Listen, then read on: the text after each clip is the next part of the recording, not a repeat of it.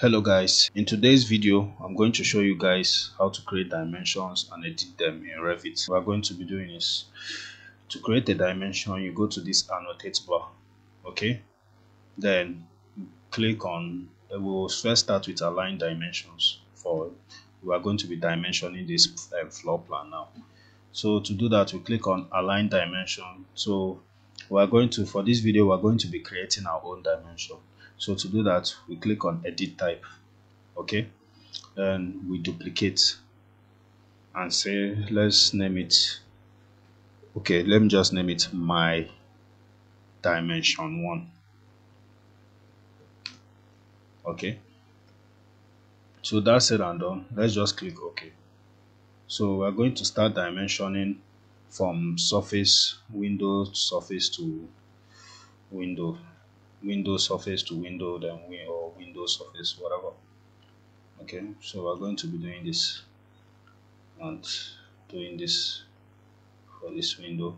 So yeah seeing that um, I think I skipped a part. Okay so if I if to dimension I'm going to I currently set it in picking at picking wall faces. So for example for instance if I set it at wall center lines now and I start dimensioning it at wall center lines it will be picking the center of the wall you get? Now I want to just dimension the exterior walls then the windows. So I'm going to now be using um, wall faces.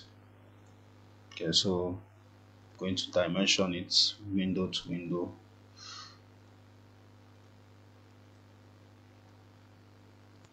Okay. I'm going to dimension this this door window to window.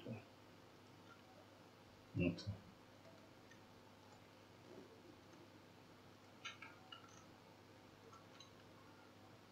Okay, so I've basically done one level of dimensions now.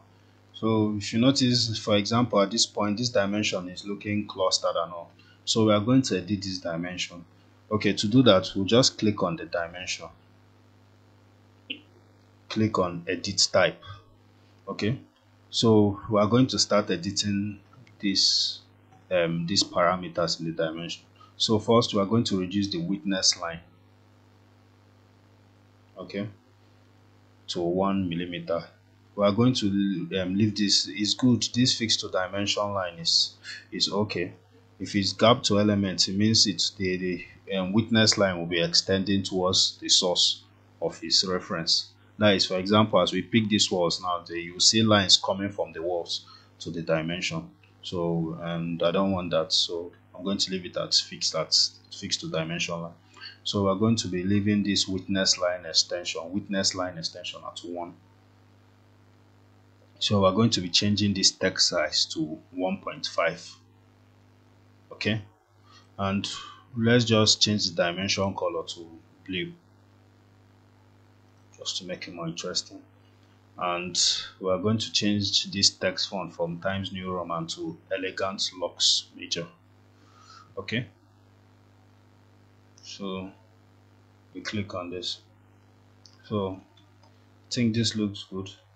So we can also edit this tick line this cross tick mark to to change the diagonal tick mark to one millimeter we are going to click on manage additional setting then go to arrowheads. So under arrowheads we change it to diagonal 1.5 that we are currently using in the dimension then just change it to 1 okay? Then the thing has reflected as 1 millimeters. Okay so we are going to dimension wall to wall.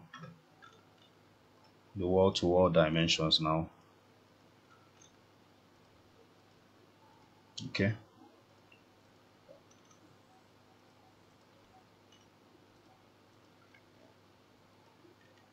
to wall dimensions.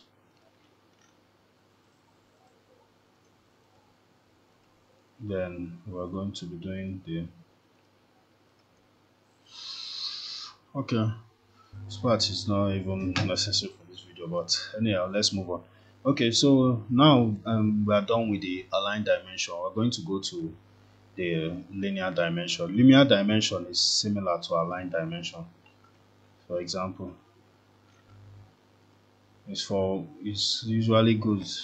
It's similar to align dimension. They can be used interchangeably. So we are going to go to angular.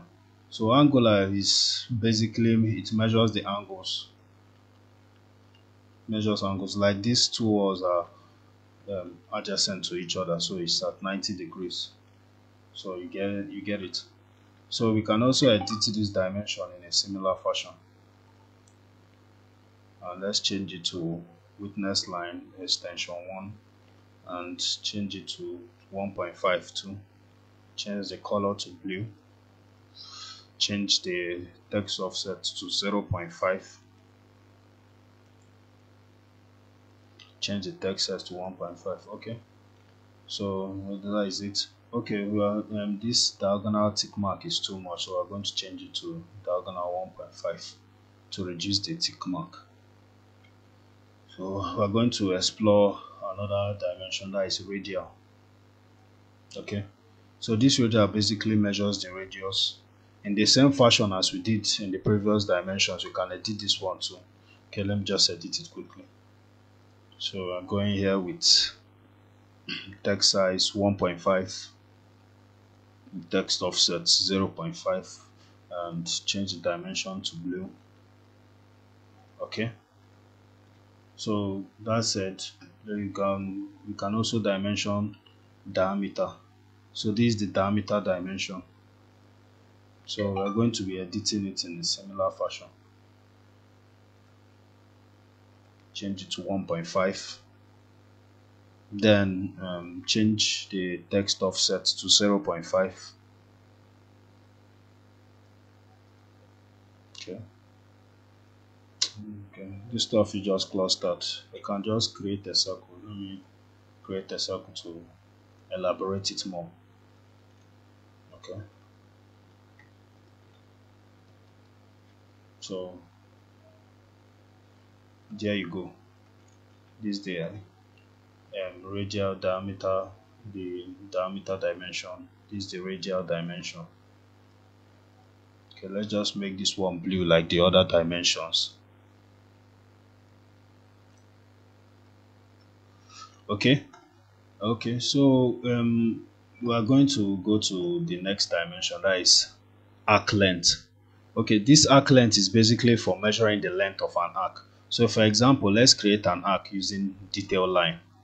Now we are going to create a, an arc now. So let's just draw the line, click on it and create the arc. Okay. So to dimension that, we'll go to radial line, we'll click on it, then tab, pick this point and pick the other end of the arc. Then it gives us our arc length. You can use the same thing when drawing walls. For example, I'm going to create a wall and create use create an arc wall now, an arc shape wall. So we have created an arc shape wall now. We are going to dimension it using the arc length. So you click on the exterior wall. Please um, listen to this part. It actually gave me problems earlier on when I was learning Revit. So I'm going to tab it. Tab here and select this other end and click on it the same thing for this interior wall in the inner and wall face I'm going to click on it okay so we can also edit this dimension as well click on edit change it from diagonal 3 um, millimeter to diagonal 1.5 change the dimension line extension to 1 gap to element here fix to dimension line change the witness line to 1 change it to one millimeter. So the dimension will be looking not be looking clustered. So now change the color to blue so it will be consistent with our other dimensions. We're now going to change the text size to 1.5 as usual and change the text font to elegant lux major then change the text offset to 0.5